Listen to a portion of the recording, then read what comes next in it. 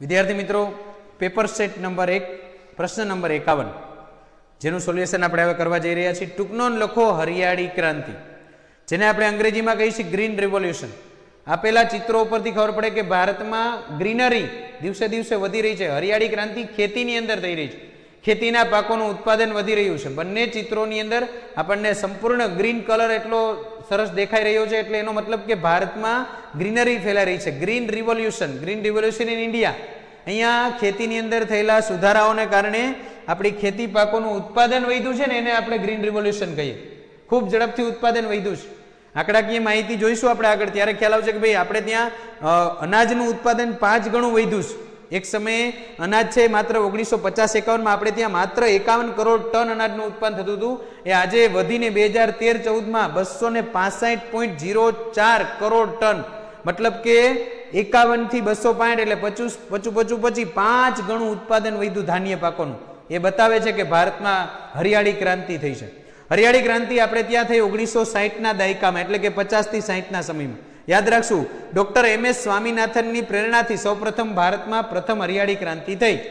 Doctor M S Swaminathan, કે જેને સૌપ્રથમ હરિયાળી ક્રાંતિ આપણા દેશમાં એના પ્રણેતા કહેવાય છે. હરિયાળી ક્રાંતિને પ્રોત્સાહન આપ્યું છે. હરિયાળી ક્રાંતિ માટે આપણને પ્રેરણા આપનાર વ્યક્તિ છે. જોઈએ હવે, આ હરિયાળી ક્રાંતિ શું છે? તો કે હરિયાળી ક્રાંતિ એટલે આપણે જોઈએ તો સુધારેલા બિયારણો, રાસાયણિક ખાતરો, ખેડૂતોનો પ્રચંડ પુરુષાર્થ વીજ વિતરણ, વ્યાપક વ્યવસ્થા, સિંચાઈની સગવડો વગેરેમાં થયેલા નોંધપાત્ર વધારાના કારણે કૃષિ ઉત્પાદનમાં થયેલા અસાધારણ વધારાને હરિયાળી ક્રાંતિ કહે છે. આ એની વ્યાખ્યા થઈ. સુધારેલા બિયારણો છે અને રાસાયણિક ખાતરોનો વધેલો ઉપયોગ, ખેડૂતોનો પ્રચંડ પુરુષાર્થ, વીજ વિતરણની વ્યાપક વ્યવસ્થા, સિંચાઈની સગવડોમાં નોંધપાત્ર થયેલો વધારો અને કૃષિ ઉત્પાદનમાં એનાથી થયેલો વધારો, તેને તમે ગ્રીન રિવોલ્યુશન અથવા હરિયાળી ક્રાંતિના નામથી ઓળખો છો. અહીંયા કૃષિ ઉત્પાદનનો વધારો એ એનો મુખ્ય ઉદ્દેશ્ય, કૃષિ ઉત્પાદનનો વધારો એ એનો મુખ્ય ઉદ્દેશ્ય હતો. ખેડૂતોને સુધારેલા બિયારણો, વધુ પ્રમાણમાં રાસાયણિક ખાતરો, જંતુનાશકોનો ઉપયોગ કરવા પ્રેરિત કરવામાં આવ્યા. પરિણામે કૃષિ ઉત્પાદનમાં વધારો કરવાના લક્ષ્યને પ્રાપ્ત કરવામાં સફળતા મળી. આપણને કૃષિ ઉત્પાદનના વધારા માટે સફળતા પ્રાપ્ત થઈ.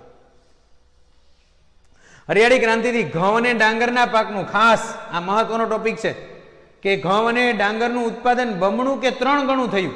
કારણ કે વીજ વિતરણ સારું થયું, પ્રચંડ પુરુષાર્થ થયો ખાતરોનો ઉપયોગ વધ્યો બિયારણોનો ઉપયોગ વધ્યો, સિંચાઈની સગવડો વધી, વ્યાપક વ્યવસ્થા ઊભી થઈ, જેના કારણે આપણે ત્યાં ઉત્પાદનમાં ખૂબ ઝડપથી વધારો થયો. એટલે આ હરિયાળી ક્રાંતિની પ્રેરણા છે એનાથી એના કારણે હરિયાળી ક્રાંતિ થઈ છે આપણે ત્યાં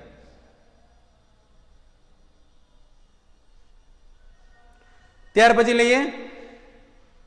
દેશમાં પહેલા જે આ ખાદ્ય અનાજની અછત હતી.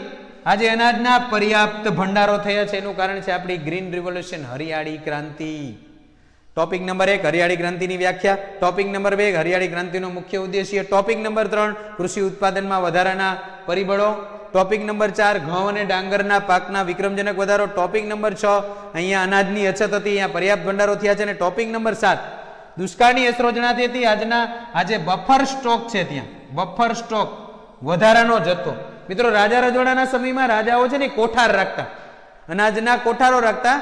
જો વર્ષ નબળું થાય, તો રાજ્યની સંપૂર્ણ જવાબદારી રાજા ઉપર હોય. એ કોઠારમાંથી અનાજ પૂરો પાડતો. દાખલા તરીકે જુનાગઢના ઉપરકોટમાં જાઓ, તો તમને અનાજનો કોઠાર જોવા મળે છે. એમ દરેક રજવાડામાં અનાજનો બફર સ્ટોક રખાતો. એ જ પદ્ધતિ આપણી સરકારે આજે પણ અપનાવી છે. આપણી પાસે ઓછામાં ઓછા બે કે ત્રણ વર્ષનું અનાજ બફર સ્ટોકમાં હવે હોય છે. એનો મતલબ આપણે અનાજની બાબતમાં જ્યાં અછત ભોગવતા હતા, જ્યાં પરાવલંબી હતા, ત્યાં જે સ્વાવલંબી થયા છીએ. એનું કારણ એકમાત્ર હોય તો આપણી ગ્રીન રિવોલ્યુશન છે, આપણી હરિયાળી ક્રાંતિ છે. અન્ન ક્ષેત્રે દેશનું સ્વાવલંબન. આ ઐતિહાસિક સિદ્ધિ છે આપણી. આ આપણો દસમો ટોપિક નવમો, દસમો ટોપિક એટલે આપણે લખવાના આઠ જ મુદ્દા છે. આપણે દસ મુદ્દાઓથી આ પ્રશ્નને અહીંયા પૂર્ણ કરીએ છીએ. એક નવા પ્રશ્ન તરફ આગળ વધીએ.